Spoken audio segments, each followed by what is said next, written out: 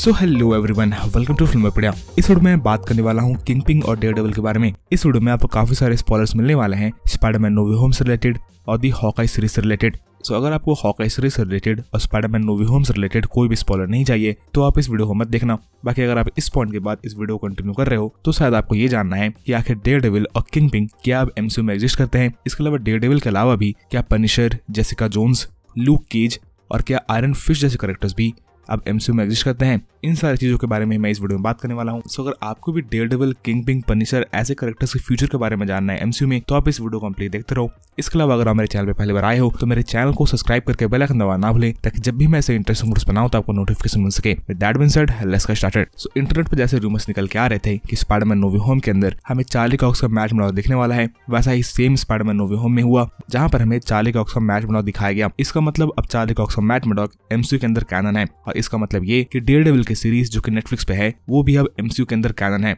इसके अलावा dare devil के अलावा भी हॉकाई सीरीज़ के अंदर अब किंग पिंग का डेब्यू हो चुका है। और मोस्ट प्रॉब्ली हॉकाई का एपिसोड सिक्स में हम किंग पिंग को देख लेंगे। हॉकाई का एपिसोड फाइव ने और हॉकाई का एपिसोड थ्री ने किंग पिंग को ऑफिशियली टीज कर दिया है। और अब विंसेंट डियन का किंग पिंग आपको हॉकाई के एपिसोड सिक्स में देखने वाला है। तो आखिर इसका आगे क्या? मोस्ट प्रॉब्ली जो इको को शो आ रहा है, उस शो के अंदर हम डेयर डेविल को भी देखेंगे और किंग पिंग को भी देखेंगे। और उस शो के अंदर most probably Echo basically Kingpin के खिलाफ जाएगी और किंग पिंग से लड़ने में most probably Daredevil Echo की हेल्प करने वाला है। इसके अलावा हो सकता है इको के सीरीज़ के अंदर हम डेयर डेविल शो में अपेयर करने वाले डिफरेंट करेक्टर्स को भी देख सकते हैं। इसका मतलब फॉगी नेल्सन और कैरन पेज के करेक्टर्स भी हो सकता है एमसीयू के अंदर वापस आए। इसके अलावा क्योंकि चार्ली कॉक्स और डेयर डेविल नेटफ्लिक्स के शोज़ के अंदर जॉन बंथाल के पनिसर से भी इंटरेक्ट कर चुका है। इसके अलावा Jessica Jones Luke Cage Iron Fist इन सारे करेक्टर से भी मैट मडॉक और डेयर डेविल नेटफ्लिक्स के सोच डिफेंडर में इंटरेक्ट कर चुका है। तो क्योंकि अब चार्ली कॉक्स और मैट मडॉक एमसीयू के अंदर कैनन है तो इसका मतलब यह है कि लूक केज जैसे Jessica Jones Iron Fist Punisher ये सारे करेक्टर्स भी अब एमसीयू के अंदर कैनन है। और आई प्रोबेबली थिंक कि जितने भी नेटफ्लिक्स करेक्टर्स हैं, उन सारे के वेरियंट्स को हम एमसीयू में नहीं देख रहे हैं।